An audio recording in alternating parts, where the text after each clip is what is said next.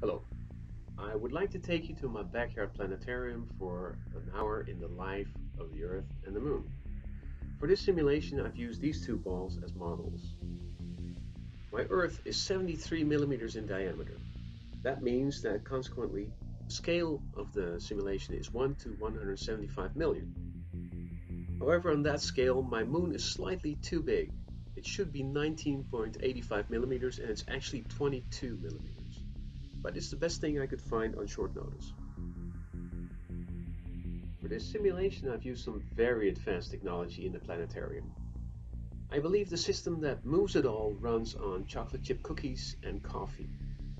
Oh yes, the string is nice too, but the grass could be better.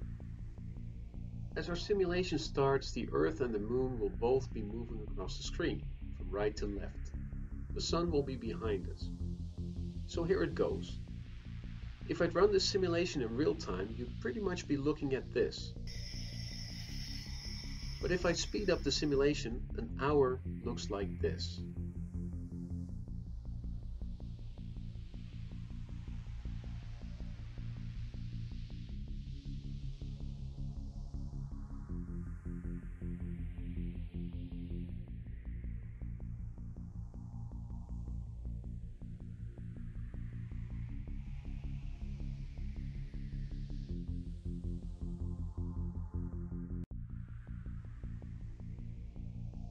Is that it? Yes, that's it. This is how little the Earth and the Moon move in one hour. What strikes me is how small the Moon looks and how far away it is. Mind you, at this scale, the Sun shall be an 8 meter ball at a distance of some 850 meters away from my Earth and my Moon.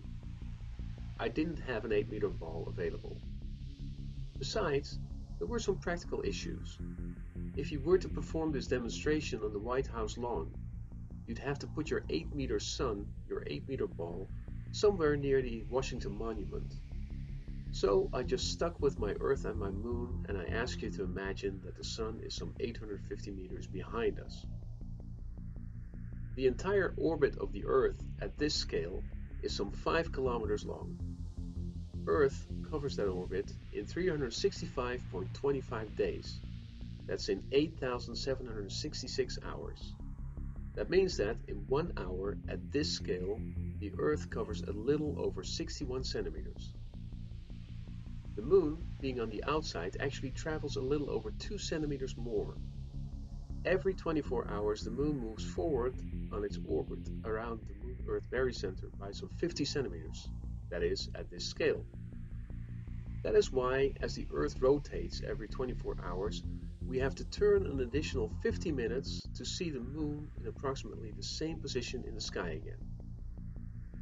So what's my point here? What I'm trying to do is to give you a realistic sense of the movements of the Moon and the Earth in real time. I find that I get questions from people who are having trouble to comprehend magnitudes of the movements in the Earth-Moon system. This often leads to incorrect notions about the effects on masses in general and water in particular. In my opinion, the reason for most of that confusion is that we've all grown up looking at animations and pictures in which dimensions and timescales have been adapted to fit our field of vision and take place before we fall asleep. This is typically done because it's the only practical way to show what the maker wants to show.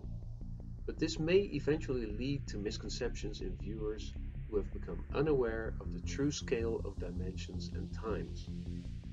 To be honest, I cheated a little bit.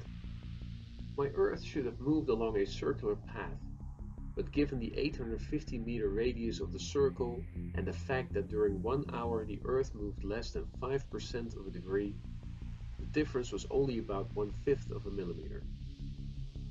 What I would have liked to show you was how, in another seven days, the moon would have crossed the path of the Earth. But then I would have needed a much larger backyard. A football pitch would have been good. How could the moon have pulled ahead? Well, seven days prior to our simulation, the moon was lagging behind. But Earth's gravitational pull was continuously pulling it forward so its angular velocity with respect to the Sun was increasing. that forward pull decreased and the moon had maximum angular velocity at the moment of our simulation. That's why it moved ahead some 2 centimeters more than the Earth did during our simulation. In the next 7 days, the Earth's gravitational pull started pulling back on the moon. What I did do on purpose is not to put the Earth on top of the string. The string represents the path of the barycenter, that is the common center of mass for the Earth and the Moon. At the time of our simulation, the Earth is actually a little bit on the inside of that path. But the Moon's gravitational pull is responsible for the acceleration of the Earth back to the outside again. Of course, the Moon influences the Earth's path much less than how much the Earth influences the Moon's path, but it does have a small but distinct influence. Also, I should have slowly turned the Earth by 15 degrees during our simulation, as that is how much it rotates in one hour.